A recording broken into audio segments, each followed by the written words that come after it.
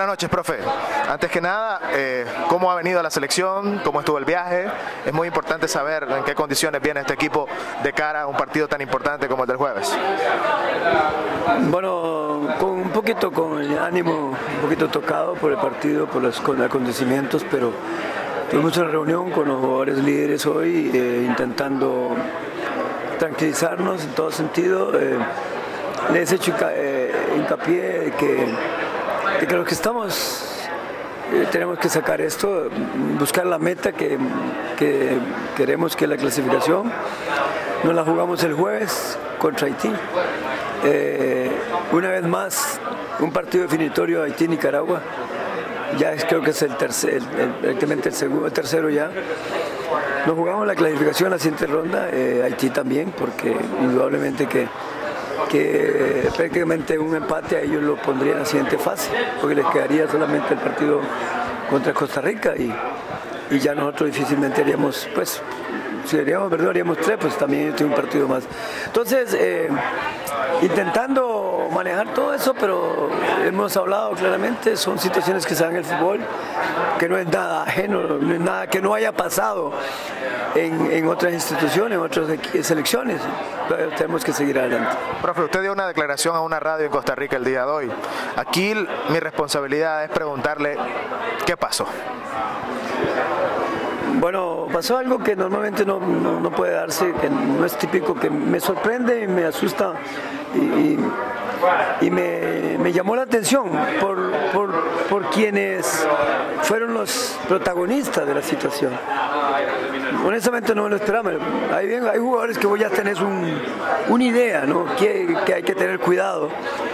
De esos tres no, no, no, no lo esperaba. Me siento muy defraudados con ellos, me siento muy engañado por ellos. Eh, porque si bien es cierto son jugadores de temperamento, no, no son jugadores que yo no, yo no les tenía como esa... Eh, a la una de la mañana ni algo se me despertó y, llegaron los de seguridad del hotel y me mostraron inmediatamente en, una, eh, en algo que tienen ellos un video de, unos jugadores que que estaban ingresando en diferentes dos habitaciones.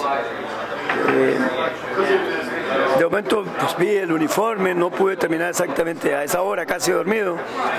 Entonces pregunté que, quiénes eran, ya ellos los habían identificado, claramente eran Carlos Chavarría, Carlos Montenegro y, y Marlon López.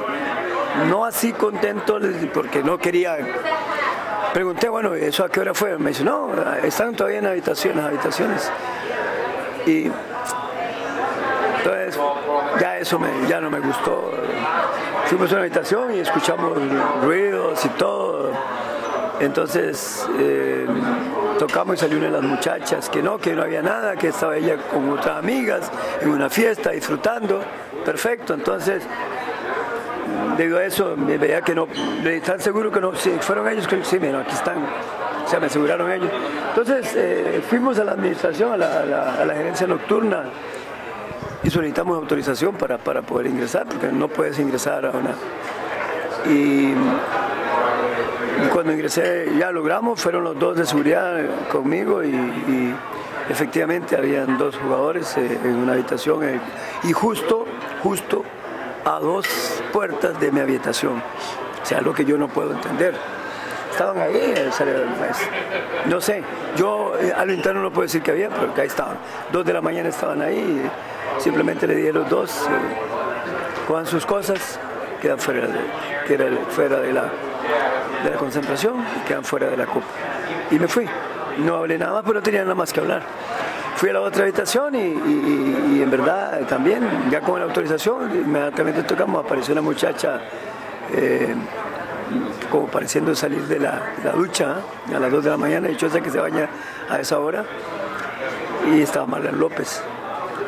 Y ahí siempre le dije lo mismo, tranquilo, puede seguir en su, fiesta, nada más que usted sepa que cuando termine, coge sus cosas y se va para, su casa, está afuera y nada más, eso fue lo que pasó, no sé qué pasó después.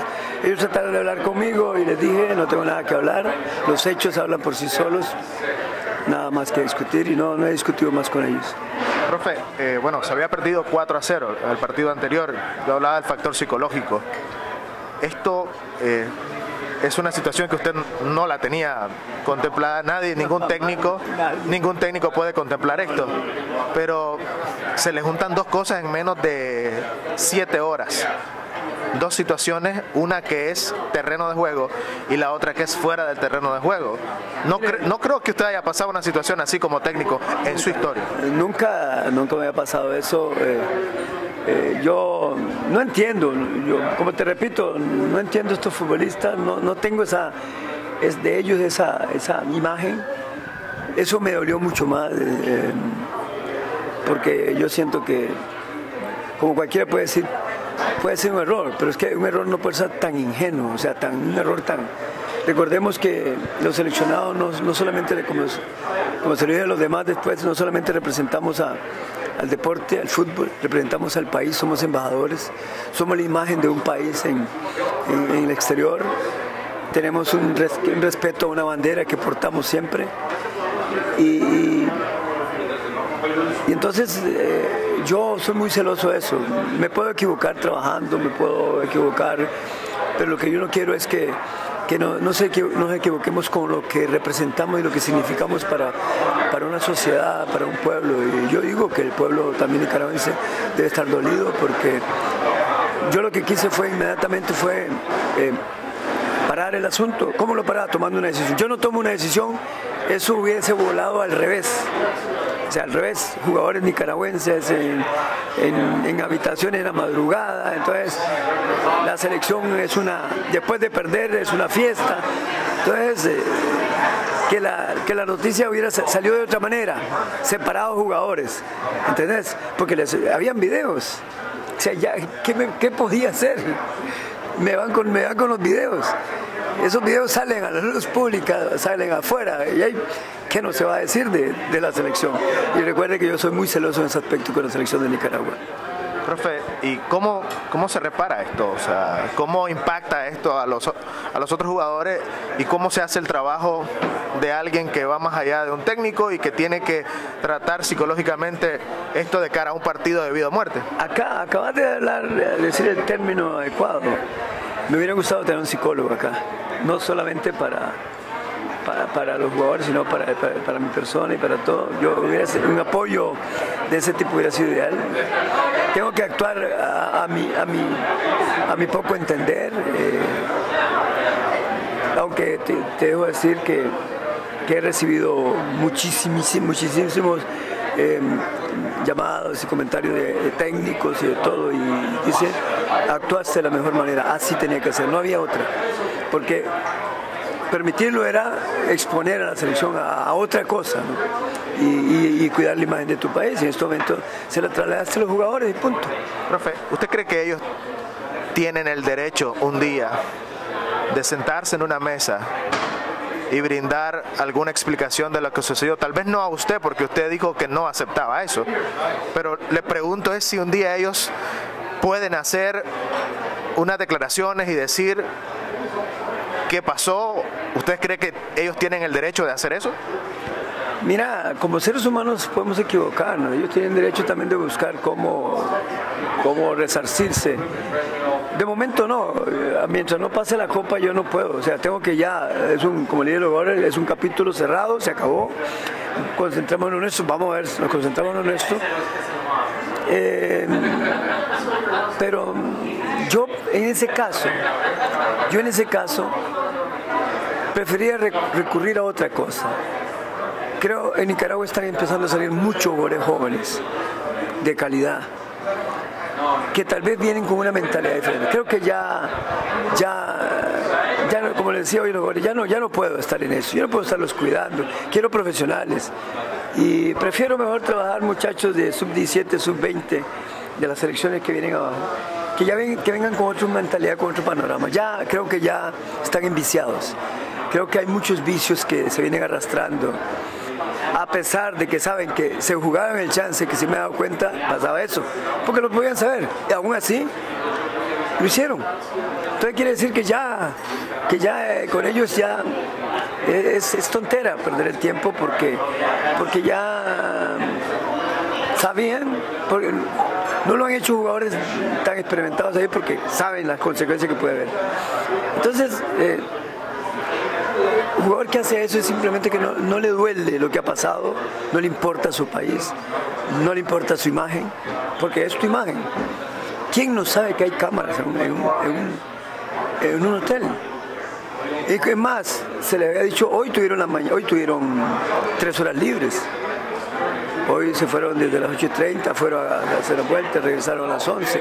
Ellos todos sabían, como le digo, miren, si, si era tanta la calentura o tanto el deseo de tomar, sus tres horas libres son sus de ustedes.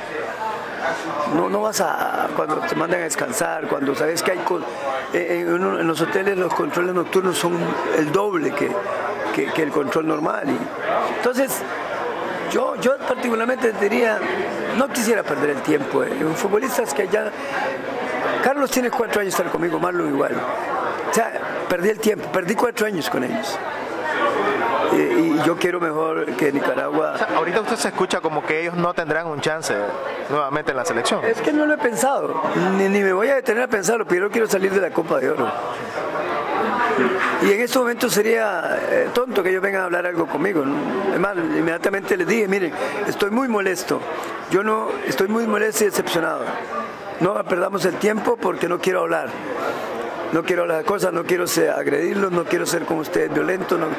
o sea, me han decepcionado y ustedes mismos han decepcionado a sus compañeros y han, y han, y han mancillado a su bandera y su país. Eso no se puede hacer. Entonces mejor no nada que hablar y no hablé. Yo no tuve ningún tipo de discusión con ellos ni nada. Les dije lo que les dije, estaban fuera y, de momento voy a concentrarme en lo que viene. Pero sí van a cambiar algunas cosas. Porque aquí hay, o sea, aquí hay reglas, pero me imagino que después de lo sucedido, a lo mejor cambian algunas cosas de lo que estaba estipulado. Pues eh, mira, habíamos venido trabajando excelentemente, o sea, a veces no, no entiendo, o sea, no los entiendo porque eh, ellos se habían salido de todo eso. Costó al principio educarlos. Y cuando alguien ya después, que ya hay normas claras, quiera salirse, creo que es que ya no le importa ni le interesa nada eso. Y, algo que a mí no me gusta es cuando la gente pone otros intereses por encima de los intereses deportivos y la imagen de, de la selección. Creo que la selección merece respeto, muchísimo y, como ser humano, como tengo debilidades, tengo errores, pero esos errores trato que no sean a lo interno de la selección. Pueden ser en mi vida privada, pueden ser en mi vida familiar, pueden ser por allá porque también los cometo como humano, pero también sé comportarme cuando debe hacerse y espero que todos los que estén conmigo se comporten de esa manera. ¿Ha tenido comunicación con algún representante de la Federación Nicaragüense de Fútbol después de este incidente? ¿Alguien se ha comunicado con usted para hablar ese tema, para abordar qué es lo que va a pasar desde el punto de vista federativo? Honestamente no. Eh, solamente he hablado con el, delegado que anda acá, que es Jason, que fue el que estuvo conmigo siempre. Y los demás no, pareciera como que como es algo que no, que no existió para ellos. ¿Eso le preocupa? No me voy a poner a detener a pensar esas cosas. No les interesa, no quieren, no quieren informarse como tiene que ser. Yo sigo en lo mío, yo estoy en lo mío. Y, pues veremos más adelante. No sé qué, les hablar, o si lo habrán hecho con Jason, no sé, eh, que es el delegado. Conmigo no ha hablado nadie. Profe, vida o muerte el partido contra Haití. Y además tiene que ganarle contundentemente a, Bermuda. Pues yo no, yo lo que busco es ganar son los dos partidos. No, no con contundencia, sino ganar. Pues primero interesa el, triunfo. Eh, partido, una vez más decidimos algo contra Haití y me gusta porque nos, han, nos han sacado y les hemos ganado. Y, y, yo siento que para lo que venimos haciendo, porque venimos creciendo Nicaragua, esto no es de merecimiento, pero Nicaragua debe estar en la siguiente ronda. Y Dios quiera que, nos den la tranquilidad y la confianza y la seguridad para, para, hacer las cosas para clasificar. Momento para Oscar López, momento probablemente para Kevin Serapio, momento para jugadores que pues eh, se les presenta una gran oportunidad. Por eso eh, uno de los términos que utilicé con el grupo cuando me reuní fue muchachos, muchas veces el fútbol te da la oportunidad de alguna manera, por una lesión, por una de forma, por una indisciplina, por un castigo. Algunos la van a estar, para eso están acá. Es que yo te digo, si me pongo a pensar, ah, es que tienen tiempo de estar jugando, no, no, para eso están nosotros, para eso los trae. Si no me traigo 12 o 13. Aún cuando está claro que Marlon López ha sido de sus mejores elementos en su era. Pero escúchame, Marlon López estuvo casi un año fuera. La clasificación a la Copa, a la Copa de Naciones la hicimos con Marlon López el último partido. Anteriormente habían otros jugando. También, yo, yo siento que, no, no, eh, los muchachos están muy metidos. Pero voy a decirte algo. A Marlon López yo fui el que lo hice necesario en la selección. Marlon López fue muy cuestionado al principio. Todo el mundo me preguntaba que por qué Marlon López, quién era Marlon López, que poquito a poco el grupo lo fue metiendo, lo fue metiendo hasta el punto de ser un parte de, los, habituales. Pero no necesariamente indica que es que él sea el que hay Kevin de hacer lo que él lo hace bien. También pues está Dani, está Punjet, está eh, Agenor que lo hace bien. No, no, no, es que no tengo preocupación. Está Artiaga, Junior, puede ser que sea la oportunidad para Junior, que sabemos.